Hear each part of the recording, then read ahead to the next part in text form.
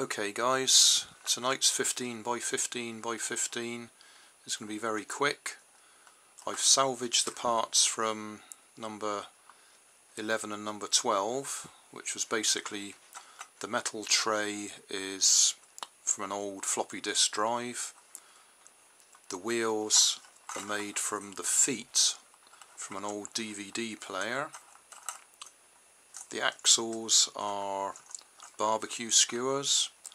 And the bit that I've just added is a bit of ball pen tube, a bit of my flower cane, a load of rubber bands, a bent paper clip on the front there to hold the rubber bands and a bit of hot glue on the back to give us sort of a button thing there to push on. Uh, this is very similar to that uh, one I did, I've forgotten which number it was, but it was a big lead weight that got shot out the back and the lead weight more or less stayed still and the car shot forwards. This works on exactly the same principle except it doesn't have a big lead weight. Instead I'll either push it up against the wall or I might use, or I'll certainly try, this big heavy transformer that I took out of a microwave I think this but with a bit of luck that'll be solid enough to push against the car so that the car shoots forwards and that stays still. Let's go and give it a try. Right, not quite sure how to get the best camera angle for this. That's my transformer, there's the car.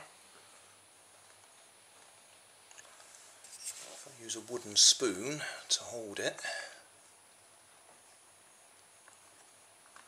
Don't know if that will release it straight or not. Oh, probably not. Just don't want to get my hands in the way so you can't see what's going on.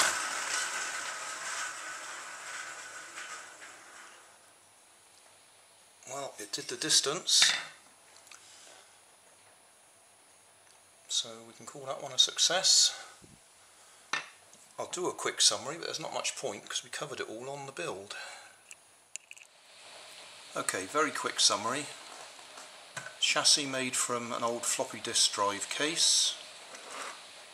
Wheels are made from the feet from a DVD player.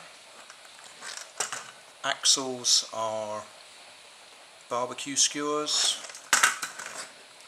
Push rod is a flower cane front of the push rod's got a bent paper clip round it to hook onto the rubber bands. And there's a bit of hot glue on the back to give us a soft button to push against. And that's it. You can push it up against a wall like this and release it